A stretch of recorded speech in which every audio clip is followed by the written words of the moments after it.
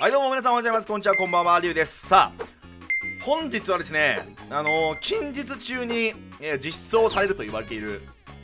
新パックの注目カードについて、えー、皆さんにご紹介していこうかなと思い思います。なんか新パック結構ね面白いカードがいくつか実装になるらしくてでえっ、とまああの全部紹介してる時間はないので私があの強いなと思った、え注目カードを、えー、まあ何種類かねご紹介していきたいなと思います。テーマごとに。まずねインゼクターですね。インゼクターついにダンセルが実装になります。はい。皆さんもダンセルホーネットというねあの魔法の呪文は聞いたことがあるんじゃないでしょうか。いつだったか2000何年だちょっとわかんない。10年とか前の世界大会ではあの遊戯王のね遊戯王の世界大会ではあのベスト4全員インゼクターっていう事件がね巻き起こったこともあったくらい、まあ、環境一強時代だったこともあったんですけどダンセルホーネットっていうのが揃える揃うとあのものすげえアドバンテージを相手のカードをぶち割りながらめっちゃ割りながら自分だけめっちゃ展開するっていうことが可能なんですよ。でこれどういうねえー、っと、まあ、効果かっていうと、まあ、あのインゼクターは下級モンスターの共通効果で、えー、一旦に一度自分のメインフェーズに自分の手札または墓地から甲虫早期インゼクターモンスター1体を装備カードとして装備できると。で、えーと、ダンセルのね、えーと、丸2番がめっちゃ強いんですよねこれ、えー、このカードが、えー、フィールド上に存在してこのカードに装備されたカードが自分の墓地へ送られた場合デッキからダンセル以外の甲虫早期インゼクターモンスター1体を特殊召喚できるよと。だから、まあ、要はあの装備カードとしてなんか装備しているカードをなんかその破壊したり割ったりできればいいんですよね、まあ、普通になんか何らかのカードを装備してダブルサイクロンで割るとかあのパラレルツイスターで割るとかそういうことでもいいんだけど相性がいいのは最も相性がいいのはこのホーネットっていうモンスターねこれ。これ。これがめちゃくちゃ強くてえー、まあ1番は共通効果なんでちょっと無視しますけどえー、っと丸3番。モンスターに装備されているこのカードを墓地へ送りフィールドのカードを1枚対象としてそのカードを破壊すると。だからダンセルにダンセルの効果でホーネットを装備しホーネットの効果で、えー、装備を外しながら相手のカードを割るとこのダンセルの効果でデッキからモンスターを特殊召喚できるよっていう効果が発動するんですよこれ。つまりダンセルホーネットが揃うと相手のカードを、えーまあ、1枚割ってモンスターを特殊召喚できる。例えばセンチピードとか。特殊召喚してくると。でセンチピードもまた同じ効果を持ってますから。あの1ターンに一度自分のメインフェーズになんか墓地からホーネット装備するっていう効果を持ってますから。だからダウンセルで出してきたセンチピードをまた特殊召喚して特殊召喚したセンチピードの効果でまたホーネットを装備すると。でもターン1制限。もちろんついておりません。このカード。あのー、名称単位じゃないないんで、えー、また装備すればまた使えます。なのでホーネットを装備してもう一回破壊すると。つまりダンセルホーネットが揃うと、えー、相手のカードを、まあ、めちゃくちゃいっぱい割りながら、えー、自分だけ展開できるってことなんですね、まあ、最低2枚は破壊できます。めちゃくちゃ強いですね。はい。でえっ、ー、とまあそうやってやってってあの展開していくっていうデッキなんであのー、まあもちろんダンセルホーネット揃ったら強いんですけどこれね、まあ、今のあの環境の問題点としてはこれ結局そのダンステルがあの起動効果なんですよ。なんで妨害全部踏むんですね。これ。あのこの効果は。例えば、まあ、月の書とかももちろん全部踏むし、まあ、例えばあの骨砕とかもそうですね。あのー、いよいよ局所が禁止になりまして多分ね骨砕とかサイクロン流行ると思うんで、まあ、サイクロンだったらいいですけどコズミックサイクロンとかはあのこれ墓地送られないんであのえっ、ー、と、ホーネットが、まあ、結構辛いなと思いますね。まあそういう妨害カードを踏むっていうことだけ覚えておきましょう。ただ、あの、妨害踏まなければ、一応強い。ホーネットダンスというか揃えばね。ただ揃い方が難しくて、OCG とかだと、まあ、ホーネットを愚かな埋葬で落としたりとかっていう、まあ、あの使い方になってくるんだけど、カードガンナーとかも入ってたな。あのクリッターとかでサーチしてリビレクリッターみたいな感じで男性ホーネット揃えるみたいな感じだったと思うんですけどもあのちょっとさすがにデュエルリンクスのこの環境高速環境って遅いのでダンセルホーネットを、まあ、揃えるのがちょっと難しいかもしれないです。はい。まあ要はあのー、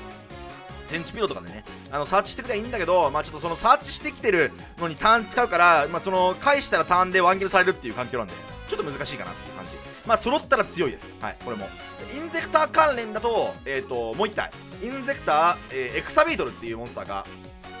来るんですがレベル 6×2 で作れるっていうモンスターで、まあ、かなり汎用的ですよね。あのランク6なんで、まあ、サンダードラゴンとかにも入ると思うしあと、えー、あれだあのオノマトとかにも入るかもしれません。でこのカードがエクシズ召喚に成功したら、えーと、自分または相手の墓地のモンスターを1体装備カードとして装備して、えーと、攻守が半分アップするよっていうまあなんかブルーディーみたいなねそんなようなのイメージ、まあ、サクリファイスとかあんな感じのかんの効果を持ってましてで一旦に一度えー、っとオーバーレユニットを1つ使うと自分と相手フィード上の表開表示存在するカードを1枚ずつ選択して墓地を送ると。これね何が強いかっていうとあの例えばサンダードラゴンに入れておけばあのネクロバレーとかが、あのー、剥がせるんですよ。サンダードラゴンデッキとかってネクロバレーめっちゃ強いじゃないですか。だからああいうカードとか、まあ、そういうなんかその制圧モンスターみたいなやつをそのエクサビートルの効果で、えー、と除去できるんで、まあ、エクサビートルはエクサビートル自身のねあのコストにもできますんでこれで、えー、とネクロバレ対策がランク6でもできるようになったっていうのが、まあ、ちょっと強いかなと思います。でえーとねこれが強いのが実はねエクサビートルが強いのはもう1個あってランク6の昆虫族モンスターなんですよ。これ何ができるかっていうとそのリンクスにはこのライノセバスっていうモンスターがいましてこれは自分のフィード上のランク56の昆虫族モンスターからエクシーズ素材を2つ除いてそのエクシーズモンスターの上に重ねてエクシーズ召喚することもできるよ。っていう効果なんでエクサビートルの上に重ねることができるんですよ。であのほらあのガイアドラグーンみたいな感じで。でこれはこのモンスターは相手ターンでも自分ターンでも妨害効果を持ってるんですね。一ターンに一度、えーと、このカードのエクシーズえー、オーバーレイユニットを1つ使うと相手フィールドの守備力が一番高いモンスターを破壊すると。これがね相手ターンでも発動できるっていう誘発即時効果なんでエクサビートルを立てれば要はライノセバスになれるってことなんですよ。だからランク6が立つデッキはライノセバスつまり1妨害を構えることができるってことなんですよこれが強い。今まであのランク6といえば、まあ、例えばフォトンストリークバウンサーとか、えーまあ、トレミスとか、まあ、あの辺がねいたと思うんですけどバウンサーは効果を止めるだけ。効果を無効にするだけなんですよ。だけどライノセバスは除去できるんでこれ。あのフィールド上のモンスターを。これが強いところですよね。まあ、ちょっとね、あの、エクストラワークはね、エクサビートルとライノセバスで2回使いますけども、2個使いますけども、強いと思います。これギミックがかなり。インゼクターは一応最後の注目カードになるんですけども、昆虫族レベル5 5×2 で作れるエクサスタッグっていうモンスターですね。えー、でこれが来るらしい。で、これ一ターンに一度、このカードのエクシーズ素材を取り除くことで、相手フィールドの、えー、または墓地のえー、モンスター一体を選択して装備カードとして装備できると、まあ、サクリファイスみたいな感じの効果を持っていますということなんですが、これね、昆虫族レベル 5×2 っていうことなんで、まあ、どのデッキからも出せるわけじゃないんですけど、これ、インゼクターはどっちかっていうと、えっと、エクサビートルよりも、さっきのこのエクサビートルよりも、エクサスタックの方が出しやすい面がありまして、これレベル5なんですよね。で、えー、っと、インゼクターっていうのは、あの、先行、まあ、ダンセルホーネットを、あのする場合ってこれ、あの、高校用の効果なんで破壊するカードがないといけないんで。なんで先行何するかっていうとグルフっていうモンスターを使うんですね。あの、これ。インゼクターグルフ。これを使って、えーと、レベルをね、あのー、変更できるんですよ。インゼクターモンスターを。だからさっきのダンセルホーネットのところをダンセルグルフにして、えーと、ダンセルと,、えーと、センチピートかなんか出してきてで両方ともレベル5にして、えー、とこのエクサスタックっていうのを出していくんですけどこのエクサスタックがまたレベル5、えー、じゃレベル5じゃないランク5、えー、昆虫族エクシーズモンスターなんでライノセバスになれるということで先行だと多分エクサスタックを出してからライノセバスにしとくっていうのが一応妨害として優秀かなと思うんで、まあ、先行だったらグルフ。え高校だったらまあホーネットみたいな感じで使い分けていくのが、まあ、一番いいのかなと思います、はい、インゼクターは以上。さあお次はネオスペーシアンについて。ネオスペーシアンについてはあのねグランモールが来るらしいんですよ。めちゃくちゃ強いんですよねこのモグラ。えー、通称鬼畜モグラ。クソモグラとか言われてるんですけども効果、えー、このカードが、えー、相手モンスターと戦闘からダメージステップ開始時。相手モンスターとこのカードを持ち主の手札に戻すと。これ対象を取らないバウンスなんですよ。これがねめっちゃ強くてまあいればね呼吸トスとかも処すことはできたんですけどこのモンスターは召喚権を使いますが絶対に相手の妨害を使わせることができるんでめちゃくちゃ強いです。グランモールに関しては。しかもなんか手札持ってくるんでもう一回使いますしね。あの効果通ればね。なんで相手のモンスターと1対1で必ず除去できるんで非常に強いと。であのグランモールだけじゃないんですよ来るのが。これねあのエレメンタルヒーローグランネオス。エレメンタルヒーローネオスと,、えーと、グランモールで作れるっていうモンスターなんですけどこいつもすげえ強くてえっ、ー、と一旦に一度相手フィールド上のモンスター1体を選択して持ち主の手で戻すことができると。これがねあの要はグランモールみたいな感じでこれグランモールはバトルフェーズに入んないといけないんですけどこれは起動効果なんであの除去一方的にできるっていうモンスターなんですね。これがすごい強い。グランネオスは。しかもこれエレメンタルヒーローネオスとグランモールなんでこれネオスフュージョンがね使えると。ネオスフュージョン1枚でバウンスを手にすることができるっていう除去ができると。今まではネオスフュージョンから除去って難しかったんですよ。あのー、グローネオスとか。あの辺しかなかったんだけどもこれグランネオス出すことによって相手のモンスターをねバウンスできるっていう非常に強い効果非常に強い除去能力をあの手に入れたとネオスデッキが。でこいつはねエンドフェーズに戻っちゃうんですけどえー、ネオスペースっていうね、あのー、このカードがあれば戻んなくてもいいと。でこれはあのスキルで発動できるんで非常に強いということですね。でネオスペーシアンは最後なんですけど、えー、エレメンタルヒーローマグマネオスっていうこのモンスターですね。これはね、あの3体融合のコンタクト融合体なんですけども、まあ、ミラクルコンタクトとかね、あのこういうカードで出せるんですけども、マグマネオスは、打点がやばいんですよね、まず、そもそも。えー、っと、これ、フィールド上の、えー、こいつの攻撃力が、フィールド上のカードの数かける400ポイントアップするよっていうことで、まあ、要は自分も含めるんで、まあ、実質打点が3400っていう感じなんですけども、まあ、カード大体今の環境めっちゃあるじゃないですか、あのフィールド上に。相手のカードも含むんで、まあ、大体5000とかくらいまでは、まあ、4000から5000くらいはいくかなっていう感じはしてまして。であの除去能力とかないんですけど単純に打点が高いんであのフェイバリットヒーローとか。えっ、ー、とねあれつけるとあのねこれって守備力も上がるじゃないですか。あのー、ヒーローの打点が。だからこれ普通だから8000とかなんか9000とか行くかもしれないんですよ。これつけたら。すげえ強いと思います。あの打点的には。まあ、3体融合ですけどね。で、えー、っと、一応エンドフェーズに、えー、っと発動する効果で、この、えー、っと、こいつが戻る場合、エクストラデッキに戻る場合、この効果によってこのカードがエクストラデッキに戻ったら、フィールド上のカードを全てもちろん手札に戻すということが、えー、できるんで、えー、っと、相手ターンにこの効果を発動できれば、なんか相手と自分のカードを全部バーンって戻せるっていうことができるので、まあ、なかなか強いかなと。まあこれ、発動しちゃうと次の開始難しいですけどね自分のデッキもね。まあ、ただ相手のあの盤面もなくなってるんで、まあ、割とワンキルはもしかしたら取れるかもしれない。さあお次はヴァンパイアというテーマですね。ヴァンパイアに関しては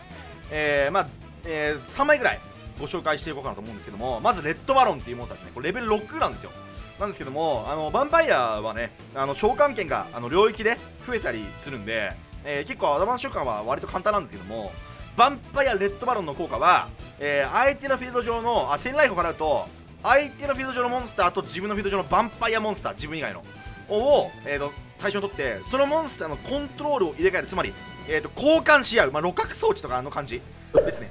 要はこの例えばヴァンパイアだったら、まあ、剣族とか使い魔とか、まあ、横に並べるのが得意なんですよ。ヴァンパイアってとにかく。あのー、エネミエネミーコントローラーとかと相性が良かったんで。覚えてる方もいらっしゃるかもしれないですけども横に展開しやすい。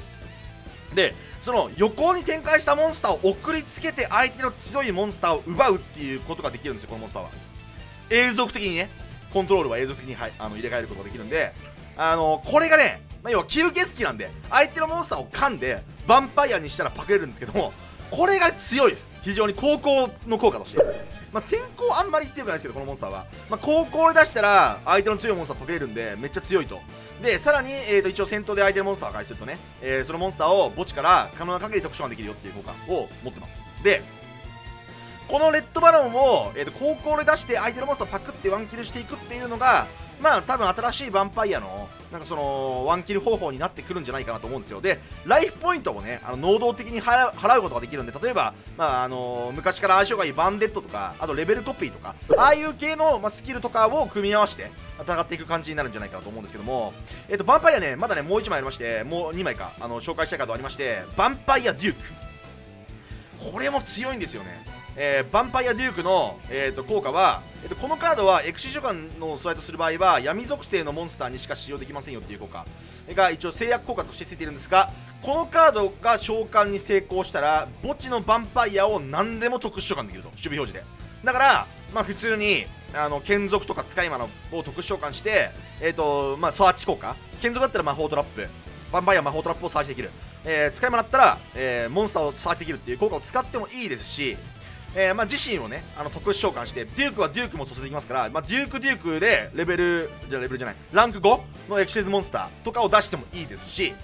えー、これね、丸2番の子が強いんですよね。このカードが特殊召喚に成功した場合、えーと、カードの種類を宣言して、相手は宣言された種類のカード1枚を、えー、デッキから墓地に送ることができると。で、これは、えー、と、ヴァンパイアの、えー、っと、帝国っていう、この、ヴァンパイアエンパイアっていう効果が発動されている場合、このカードが発動されている場合、えー、相手のデッキからカードを墓地に送られたとき、えー、っと、相手のカードを1枚割りながら、自分はヴァンパイアモンスターを墓地に送るっていう効果があるんですよ。だから、これを発動できている場合は、ヴァンパイアデュークを特殊召喚できたら1枚相手のカードを割れるっていうことにもなりますしこれ例えばねあのシフトとかがある場合伏せてある場合、えー、っと墓地からデュークを蘇生しながらあのエンパイアを発動して、えー、っとデュークの効果で、えー、相手のカードを除去するっていうこともできるんですよ。ですし新しいカードもう1枚ありましてこれですねヴァンパイアアウェイク。これも結構強くてあのこのカード1枚しか発動できないんですけども一旦一度。デッキからヴァンパイアモンスターを特殊召喚できる。ただし、えー、特殊召喚したモンスターはエンドフェーズに破壊されるっていうことなんですよ。だからこれでデッキからさっきの、あのー、デュークこれを出してきて、えー、エンパイアが貼ってあればね、え除去できるっていうこともありますしあと普通にヴァンパイアアウェイクで、あのデッキから剣族とか使い魔とかを特殊召喚してきて効果を使った後に、えー、ともう一回剣族とか使い魔を墓地に送られてでもう一回次のターンで効果が発動してまたサーチとかできるんでアウェイクはね結構強いですね。これ何でも出せますししかも。であの攻撃表示でも別にいいんでバトルフェーズの追撃もあのできますからこれがねなかなか強い効果を持ってるかなっていう。ヴァンパイアに関してはかなりね面白いあのめちゃくちゃいっぱいカードが追加されるんでまたあのー、追加されたカードは全部ね生放送かなんかで見ていきたいなと思いますけどとりあえず注目カードはこの3枚かなと思ってます。で